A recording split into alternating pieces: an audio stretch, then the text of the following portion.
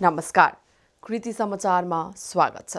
म स्वरूपा थापा मगर समाचार सुरु गरौँ मुख्य मुख्य खबरबाट। कोरोना भाइरस संक्रमणका कारण पछिल्लो चौबिस घण्टामा तीनजनाको मृत्यु पचासी संक्रमित थपिए। नेकपा माओवादी केन्द्रका अध्यक्ष पुष्पकमल दाहाल प्रचण्डले एक दुई दिनमै सरकारलाई दिएको समर्थन फिर्ता लिने दावी। आफू नैतिक र राजनीतिक ढङ्गले धेरै दिन पर्खिन नसक्ने उहाँको भनाई। कोभिड उन्नाइसको जोखिमलाई दृष्टिगत गर्दै नेपाल प्रहरीले होली पर्व मनाउँदा विशेष सावधानी अप्नाउन अनुरोध। भिडभाड नगरी मनाउन आग्रह। भानु स्मृति माविले सन्ताउन्न औँ वार्षिकोत्सव तथा अभिभावक दिवस सम्पन्न गरिब तथा जेहेन्दार विद्यार्थीलाई छात्रवृत्ति तथा पुरस्कार वितरण। पाँचौँ राष्ट्रिय होराइजन बास्केटबल कप प्रतियोगिता हिजोबाट सुरु। रूपन्देही र तरहरा बास्केटबल टिम विजय। धरान ओपन गल्फ टुर्नामेन्टको प्रो एमतर्फको शनिबारको खेलमा प्रो सञ्जय लामाको टोली विजेता। मुख्यमन्त्री शेरधन राई लगायतले पुरस्कार वितरण। र गायक प्रमोद पोर्तेलको दोस्रो एल्बम बजारमा।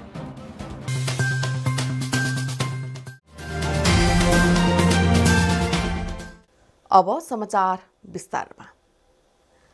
कोरोना भाइरस संक्रमणका कारण पछिल्लो चौबिस घण्टामा तीनजनाको ज्यान गएको छ। यो सँगै नेपालमा कोरोनाका कारण मृत्यु हुनेको सङ्ख्या तीन हजार सत्ताइस पुगेको छ। नेपालमा दोस्रो लहरको कोरोना हालसम्म देखिएको छैन तर भारतमा दोस्रो लहरको कोरोना देखिएसँगै नेपालमा पनि प्रवेश नगर्ला भनेर भन्न नसकिने अवस्थामा रहेको छ। भारतमा तीव्र संक्रमितहरू बढिरहेका छन्। पछिल्लो चौबिस घण्टामा कोभिड उन्नाइसका पचासी संक्रमित थपिएका छन्। दुई हजार सात सय पैँतालिसजनाको पिसिआर परीक्षण गरिएकोमा पचासीजनामा पोजिटिभ देखिएको हो। यो सँगै नेपालमा कुल संक्रमितको सङ्ख्या दुई लाख छिहत्तर हजार सात सय पचास पुगेको छ। यस्तै पछिल्लो चौबिस घण्टामा तिरानब्बेजना सङ्क्रमण मुक्त भएका छन्। यो सँगै देशमा कोरोना मुक्त हुनेको सङ्ख्या दुई लाख बहत्तर हजार चार सय पैँतिस पुगेको छ। हाल देशभर क्वारेन्टिनमा उन्साठीजना छन् भने आइसोलेसनमा एक हजार दुई सय अठासीजना रहेको स्वास्थ्य तथा जनसङ्ख्या मन्त्रालयले शनिबार जनाएको छ। नेकपा माओवादी केन्द्रका अध्यक्ष पुष्पकमल दाहाल प्रचण्डले एक दुई दिनमै सरकारलाई दिएको समर्थन फिर्ता लिने बताउनु भएको छ। संसद विघटनलाई असंवैधानिक भनेर सडकमा गएका दलहरूबाटै हतारमा समर्थन फिर्ता नलिन आफूमाथि जबरजस्त दबाव रहेको उहाँले बताउनुभयो काठमाडौँमा शनिबार सम्पन्न वृहत नागरिक आन्दोलनको क्रममा उहाँले आफू नैतिक र राजनीतिक ढङ्गले धेरै दिन पर्खिन नसक्ने बताउनुभयो यद्यपि आफूले अबको निकासबारे हिजो सडकमा भएका दलहरूबीच न्यूनतम सहमति होस् सरकारलाई दिएको समर्थन फिर्ता र अविश्वासको प्रस्ताव दर्ता एकैपटक होस् भनेर मात्र दारा किटेर समर्थन कायम राखेको उहाँले बताउनुभयो कोभिड उन्नाइसको जोखिमलाई दृष्टिगत गर्दै नेपाल प्रहरीले होली पर्व मनाउँदा विशेष सावधानी अप्नाउन नागरिकलाई अनुरोध गरेको छ। नेपाल सरकारले जारी गरेको निर्देशन र स्वास्थ्य मापदण्डलाई पूर्ण पालना गर्न पनि प्रहरीले विशेष अनुरोध गरेको हो। प्रहरीले सतहत्तरवटै जिल्ला प्रहरी कार्यालयलाई आवश्यक निर्देशन दिँदै स्वास्थ्य मापदण्ड पालना गराउन र शान्ति सुरक्षा चुस्त बनाउन आवश्यक निर्देशन दिइसकिएको प्रहरी प्रवक्ता प्रहरी वरिष्ठ उपरीक्षक वसन्त बहादुर कुँवरले जानकारी दिनुभयो। सरकारले घर घरमै बसेर होली मनाउन अनुरोध गरिसकेको छ। भिडभाडमा पुगेर समूहगत रूपमा होली नमनाउन भनिसकेको अवस्थामा त्यसलाई कार्यान्वयन गर्न मातहतका सबै प्रहरी कार्यालयलाई निर्देशन दिएको उहाँले बताउनुभयो। आइतबार पहाडमा र सोमबार तराईमा होली परेको छ। स्वास्थ्य तथा जनसङ्ख्या मन्त्रालयले भारत बेलायत फ्रान्स लगायत युरोपेली मुलुकमा कोभिड उन्नाइसको सङ्क्रमणको दरमा वृद्धि भएको र नेपालमा पनि प्रभाव पर्न सक्ने भन्दै सावधानी अप्नाउन अनुरोध गरिसकेको छ। सार्वजनिक स्थानमा आउँदा जाँदा मास्क प्रयोग नगर्ने र स्वास्थ्य मापदण्डको पालना नगर्नेलाई सङ्क्रामक रोग ऐन दुई हजार बिस अनुसार कारवाही हुने गृह मन्त्रालयले जनाएको छ। नेकपा एमाले धरान उपमहानगर कमिटीको चैत सात गते बसेको सचिवालय बैठकको निर्णय अनुसार धरान उपमहानगर कमिटीको विस्तारित बैठक तथा शपथ ग्रहण कार्यक्रम आयोजना गरिएको छ। धरान पन्ध्र स्थित सदन सभा हलमा नेकपा एमाले माधव नेपाल पक्षले कार्यक्रम गर्दै प्रधानमन्त्री केपी शर्मा ओली निकट कार्यकर्ताले मनोमानी रूपमा गठन गरेको कमिटी आधिकारिक नभएको भन्दै नगर अध्यक्ष नारायण सुवेदीको नेतृत्वमा पुरानो कमिटी स्थापना भएको हो। पुस पाँच गतेदेखि फागुन अठाइस गतेसम्म निरन्तर पार्टी अध्यक्ष केपी शर्मा ओलीले चालेको कदमहरू राष्ट्रघाती भएको र पार्टीको विधान विपरीत भएको जनाइएको छ। संसदले पास नगरेको एमसिसीको मनोमानी रूपमा कार्य आदेश दिएको प्रमुख अतिथि केन्द्रीय सदस्य सुनसरी जिल्ला इन्चार्ज धर्मराज निरौलाले बताउनुभयो। अध्यक्ष नारायण सुवेदीको नेतृत्वमा कमिटी पुनः गठन गरिएको हो। कार्यक्रमबाट केही नयाँ सदस्यहरू समेत थप गर्दै एक सय बैसठी सदस्यीय कमिटी गठन गरिएको हो। ओली निकटको गुटमा सहभागी नहुनका लागि पनि निर्देशन गरिएको नगर कमिटी अध्यक्ष नारायण सुवेदीले बताउनुभयो। कृति समाचारमा अब विज्ञापनको पालो।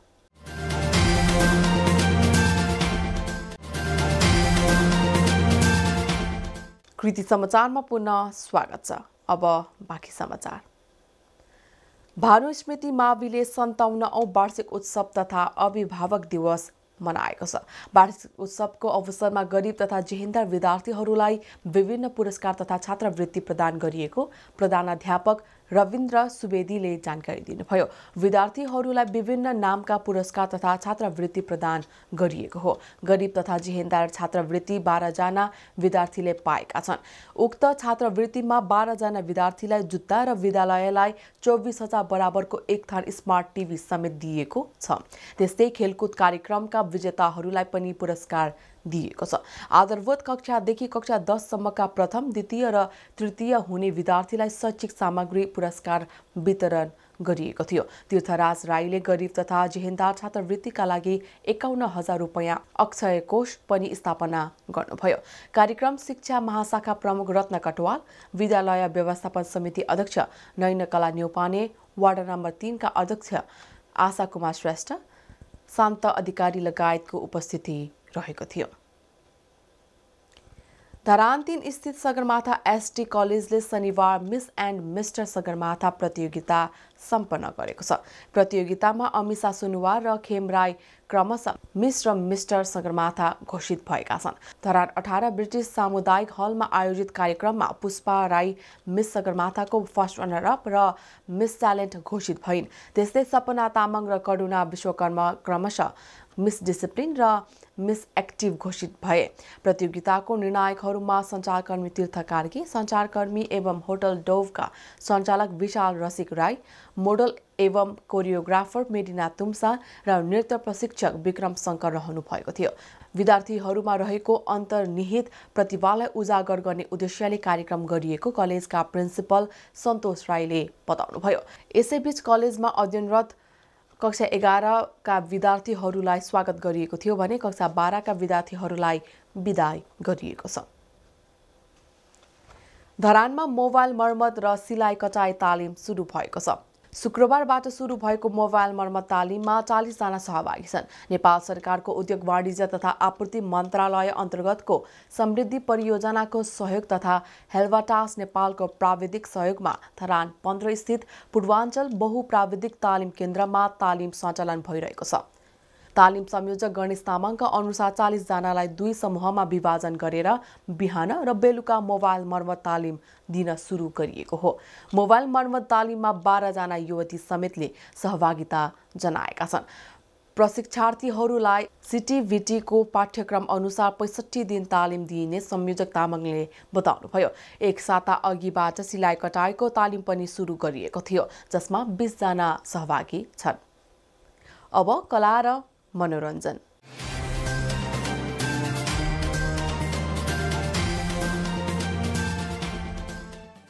धरानलाई कर्म क्षेत्र बनाई साङ्गीतिक क्षेत्रमा सङ्घर्षशील गायक तथा सङ्गीतकार प्रमोद पोर्तेलको दोस्रो एल्बम बजारमा आएको छ। माया हो एल्बममा समावेश भएको गीत माया उनको अफिसियल युट्युबमा सार्वजनिक गरिएको हो। कार्यक्रमका प्रमुख अतिथि वरिष्ठ गायक दिप श्रेष्ठले भिडियोको रिलिज गर्नुभयो। पोर्तेलकै शब्द सङ्गीत रहेको गीत मायामा हिना मल्ल बराइलीले साथ दिएकी छन्। एक अर्काको माया र प्रेम सम्बन्धमा रहेका अहिलेका पुस्ताका युवा युवतीहरूको माया प्रेमको विषयमा जोडिएको छ। गीतमा गायक पोर्तेल र हिनालाई फिचर्ड गरिएको छ। माया गर्ने प्रेमिल जोडीहरू टाढा टाढा भएर बसेका अवस्थामा एक अर्काको फिलिङ्स कस्तो हुन्छ भनेर निर्देशक सुल्तानले भिडियोमा प्रस्तुत गर्नुभएको छ। गीतको music arrange Daniel Gadal audio mixing Rabin Chhetri music production Judah Plows studio सिलिगुडीले गरेको छ भने गीतको रेकर्ड भने अपार रेकर्ड्स धरानमा गरिएको हो। कार्यक्रममा विशेष अतिथि गायक सङ्गीतकार डिली फोम्बो लोकप्रिय गायक गङ्गा वरदान लगायतको उपस्थितिमा भिडियो रिलिज गरिएको हो। अब खेल खबर।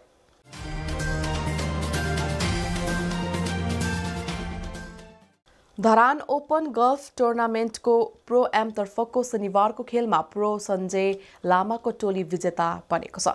पार सत्तरीको खेलमा प्रो लामासहित एमेचोर नारायण राई भरत तामाङ र आरसिया भानुको टिम विजेता बनेको हो।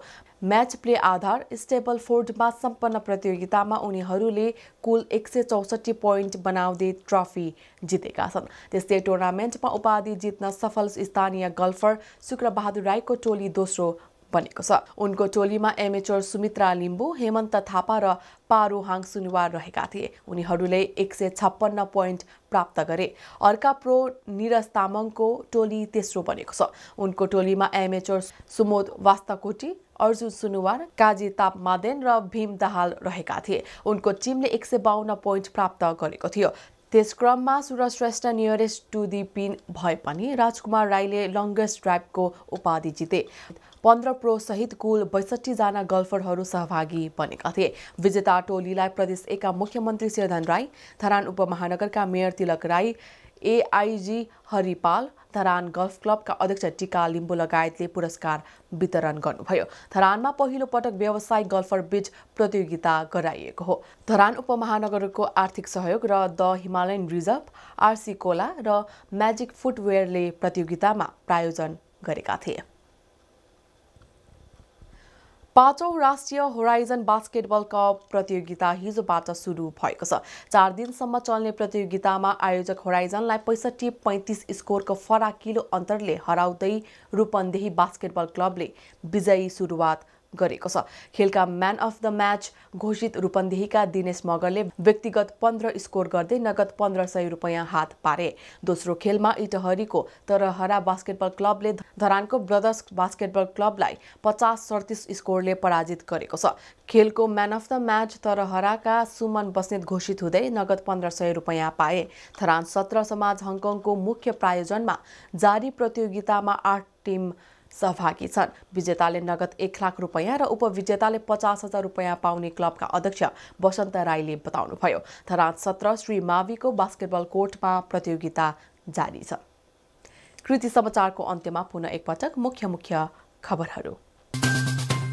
कोरोना भाइरस संक्रमणका कारण पछिल्लो चौबिस घण्टामा तीनजनाको मृत्यु पचासी संक्रमित थपिए। नेकपा माओवादी केन्द्रका अध्यक्ष पुष्पकमल दाहाल प्रचण्डले एक दुई दिनमै सरकारलाई दिएको समर्थन फिर्ता लिने दावी। आफू नैतिक र राजनीतिक ढङ्गले धेरै दिन पर्खिन नसक्ने उहाँको भनाई। कोभिड उन्नाइसको जोखिमलाई दृष्टिगत गर्दै नेपाल प्रहरीले होली पर्व मनाउँदा विशेष सावधानी अप्नाउन अनुरोध। भिडभाड नगरी मनाउन आग्रह। भानु स्मृति माविले सन्ताउन्न औ वार्षिकोत्सव तथा अभिभावक दिवस सम्पन्न। गरिब तथा जेहेन्दार विद्यार्थीलाई छात्रवृत्ति तथा पुरस्कार वितरण। पाँचौँ राष्ट्रिय होराइजन बास्केटबल कप प्रतियोगिता हिजोबाट सुरु।